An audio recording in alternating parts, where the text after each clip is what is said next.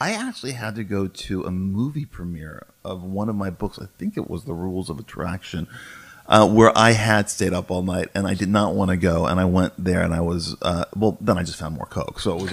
I mean, that, that was, but then I also remember that I had to do a commentary track for the Rules of Attraction in 2002, still into my coke phase, and I'd been up all night partying, and I got a call saying you have to be at the screening room at you know 12:30. They're going to record you for two hours as you and I went and I literally just said, "Oh, that yeah, that's really good. That's really good. Yeah, and like, that's really nothing intelligent from my." And they didn't use any of my commentary or anything. It was just me going, "Yeah, yeah, I really like that thing. Yeah, yeah that seems really good. Yeah, that's from my book."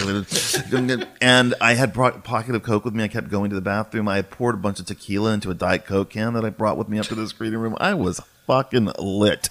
Well, you know, And it was just, and you know, and then you know what they ended up? They got so pissed at me that they ended up getting Carrot Top to do my commentary. Oh, what a, what a humiliation. well, you know what I remember, Bret, um, very distinctly was it was uh, Friday nights when when we were when we were both in town.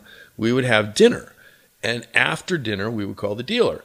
And but over the years, what I remember is that instead of making, you know, we used to have dinner at eight thirty, and then like call the dealer at eleven, and then eventually Seven. and then eventually it was like eight, and then 7.37 because there was this like there was this my, sense, the sense- first drink, sense of urgency that we had to get going. And you would always leave in the middle of dinner uh, to like go and meet the dealer. And and and the and the party, frankly, extended longer and longer into the night and the morning on those weekends. You I know, mean, I mean, I over the years, it got a little out of control. I literally, I could not. Ha- I mean, one sake at Japonica would send me to my phone to fucking call up a drug dealer and say, and and look, it was so easy to get, and we bought so much of it. I remember that I could I could do an eight ball uh, by myself. I remember the first time I did that. I said, okay, uh, yeah, can we get uh, oh three and a half tickets, please?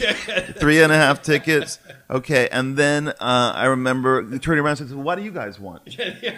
And they said, I remember looking at "What do you mean?" That was for you. And then you know when you called that drug delivery service, I mean, we were actually committing federal crimes because of the amount of coke that we were allowed to sell. You're not allowed to sell four thousand dollars worth of coke to fifteen kids in an apartment on 13th Street. You're not allowed to do that.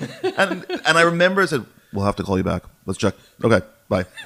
And then they'd always call back, go, okay, do you need anything else? and they did for a while there. That service had Vicodins, they had Klonopins, they had these giant reefers that they would sell that I smoked one time that got me so crazily paranoid that I found myself running down Fourth Avenue at seven in the morning. I mean, thinking people were bugging my apartment and trying to get in and kill me. Michaels.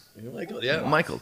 It was a service based on the Upper West side a Side. drug dealer named Michael, and he had runners. He had runners who were all good-looking young guys in black suits that came down in private cars and and walked into. They looked totally respectable. They were like male models, Well, yeah, which is because and we- they had a briefcase and they because we walked. up- both had doormen, so Yeah, you- doormen, You, you, right. you wanted them to look a right, little bit so- so- respectable. right, respectable. And so they would come in, flip open the briefcase, and they had massive envelopes of coke, of weed, of pills, of Xanax, of Valium, of whatever you wanted. And I remember buying. Oh, I- I'll take uh, uh, eight bars of Xanax. oh yeah, yeah. Can I can I get a couple Klonopins on that? and then, um, and I think I'm going to get another eight ball just for uh, maybe tomorrow. it was just ridiculous. And but I also I have to say this. I'm a control freak. I have to Yep. say I'm a control freak, and I did want to get work done. So I did kind of plan out a 36 to 48 hour Yep. debauchery, and I knew that I wanted to get four, four at least four days of writing done Right. that week. I would be in hell that Monday or whatever, Right. but I was going to, goddamn it, get the book done. and so, and I think maybe that's why it took me nine years to write Glamorama. That I might have been able to write that book a lot faster if I had it. That book should have taken three years to, to write, but with all the drugs.